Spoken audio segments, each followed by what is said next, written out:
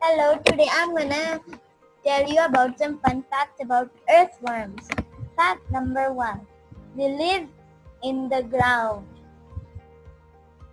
Fact number two they breathe through their skin. Oh wow, I did not know that. Fact number three earthworms have five hearts. If enemy breaks their body apart, they can grow a new tail or a head. Whoa, that's cool. Fact number five. In one acre of land, there can be more than a million earthworms.